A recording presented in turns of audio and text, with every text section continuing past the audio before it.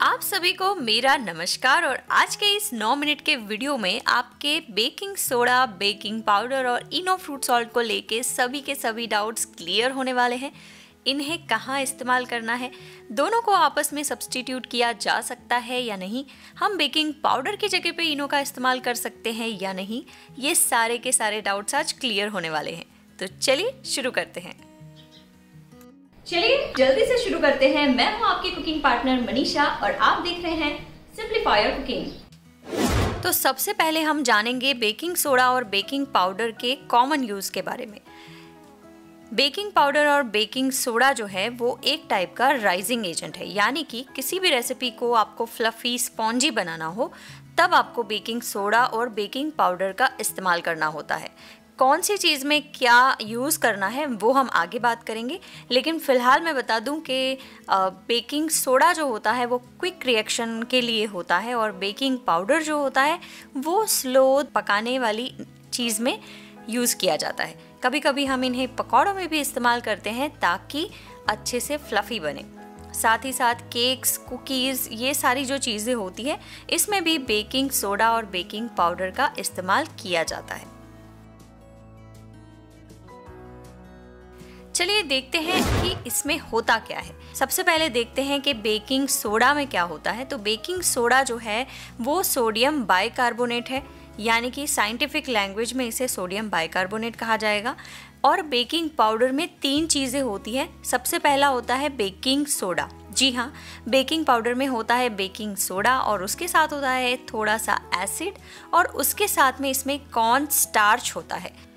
और इसी वजह से बेकिंग सोडा, बेकिंग पाउडर से तीन गुना ज़्यादा स्ट्रॉन्गर होता है। अब बारी आती है इसे पहचानने की। तो बेकिंग सोडा, बेकिंग पाउडर दोनों ऑलमोस्ट दिखने में एक जैसे होते हैं।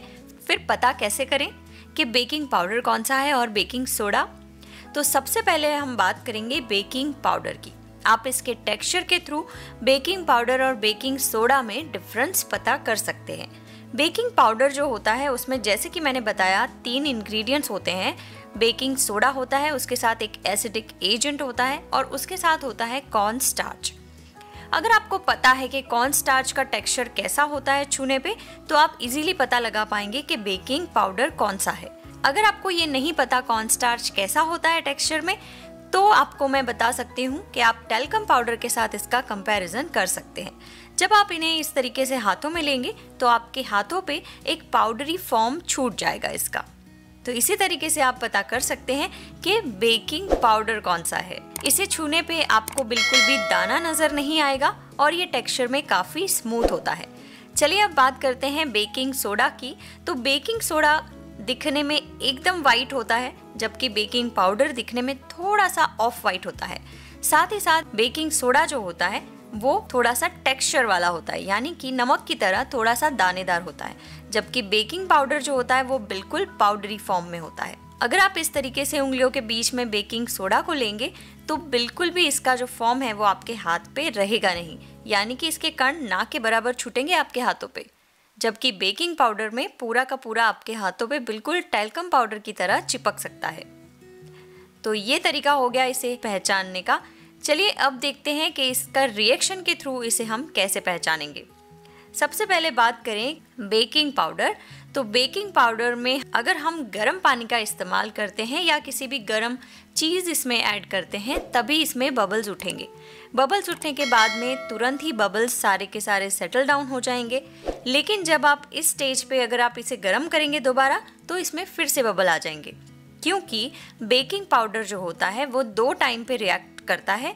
फ़र्स्ट जब वो किसी लिक्विड के कांटेक्ट में आता है, जैसे कि मैंने यहाँ पर पानी लिया, अगर पानी ठंडा होगा तो ये बिल्कुल भी रिएक्ट नहीं करेगा, पानी गर्म होगा, तभी ये रिएक्ट करेगा।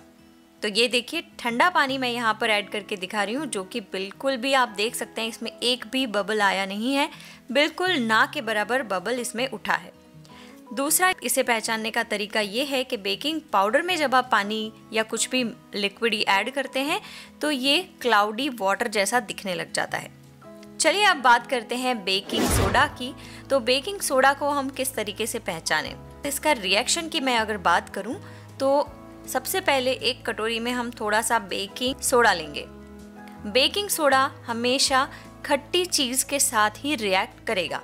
आप पानी लें, ठंडा लें, गर्म लें, उससे इसका कोई मतलब नहीं है। जब तक इसमें कोई एसिडिक एजेंट नहीं होगा, ये रिएक्ट नहीं करेगा। यहाँ पर मैं बेकिंग सोडा के साथ में विनेगर ऐड कर रही हूँ और तभी आप देख सकते हैं कि इसमें सडनली बबल्स उठेंगे। तो जब भी हमें फास्ट स्टीमिंग या फास्ट कुकिंग करनी होती है, जैसे कि ढोकला होता है जो 15 मिनट में बन के रेडी हो जाता है तो उसमें आप बेकिंग सोडा का इस्तेमाल कर सकते हैं, ना कि बेकिंग पाउडर का। तो यहाँ पर आप देख सकते हैं कि बबल्स तुरंत सेटल डाउन भी हो गए हैं तो इसीलिए फास्ट कुकिंग में हमें बेकिंग सोडा लेना है। इसका बिल्कुल ही उल्टा, जैसे कि हमें स्लो बेकिंग करनी है, जैसे कि केक हो गए या फिर कुकीज़ हो गए, उसमें बेकिंग पाउडर का यूज़ किया जाता है। चलिए देखते हैं कि इन्हें हम आपस में सब्सटीट्यूट कर सकते हैं या नहीं, और कर सकते हैं तो कैसे कर सकते हैं। सबसे पहले बेकिंग पाउडर का टेक्सचर जैसे कि मैंने आपको दिखाया, काफ़ी पाउडरी फॉर्म होता है इसका। इसे सब्सटीट्यूट अगर आप करना चाहें, अगर आप एक टीस्पून बेकिंग पाउडर ले रहे हैं तो उसके सामने आप वन थर्ड बेकिंग सोडा का इस्तेमाल ज़रूर कर सकते हैं। और दूसरी साइड अगर हम देखें कि बेकिंग सोडा है हमारे पास और बेकिंग पाउडर नहीं है तो क्या करेंगे? जैसे कि मैंने पहले आपको बताया कि बेकिंग सोडा, बेकिंग पाउडर के कंपैरिजन में काफ़ी ज़्यादा स्ट्रॉन्ग होता है तो बिल्कुल इसका उल्टा होगा। अगर आप एक चम्मच बेकिंग सोडा ले रहे हैं तो उसके सामने आपको लेना होगा तीन चम्मच बेकिंग पाउडर, जो कि बिल्कुल ही ख़राब कॉम्बिनेशन है। मेरे हिसाब से बेकिंग पाउडर और बेकिंग सोडा को दोनों को अलग अलग इसीलिए बनाया गया है ताकि इनका अलग अलग इस्तेमाल हो सके। तो इन्हें आपस में स्वैप करना is not a good idea अब हम बात कर लेते हैं इनो फ्रूट सॉल्ट की, जो कि इनो के नाम से काफ़ी ज़्यादा फ़ेमस है। ये हमें कब इस्तेमाल करना चाहिए? कौन सी रेसिपी में हम इसे इस्तेमाल कर सकते हैं? और इसे किस प्रोडक्ट यानी कि बेकिंग सोडा या बेकिंग पाउडर दोनों में से किसके साथ सब्सटीट्यूट किया जा सकता है? ये जो इनो फ्रूट सॉल्ट है, इसमें कॉन्सेंट्रेटेड फॉर्म में होता है बेकिंग सोडा, उसके साथ होता है एसिड काफ़ी कॉन्सेंट्रेटेड फॉर्म में। जब ये लिक्विड के कांटेक्ट में आता है तो तुरंत ही इसमें बबल्स बनना स्टार्ट हो जाते हैं। तो देखिए आप इसमें बबल्स बन रहे हैं और काफ़ी देर तक बनते ही रहेंगे। क्योंकि ये बहुत ज़्यादा कॉन्सेंट्रेटेड फॉर्म में है तो इसीलिए अगर आप इसे इस्तेमाल करना चाहें तो आप बिल्कुल कर सकते हैं बेकिंग सोडा की जगह पे, ना कि बेकिंग पाउडर की जगह पे। तो आई होप आपको यहाँ तक का कॉन्सेप्ट क्लियर हो चुका होगा कि हमें बेकिंग सोडा बेकिंग पाउडर और फ्रूट सॉल्ट इन तीनों का इस्तेमाल कहाँ पर कितना करना चाहिए।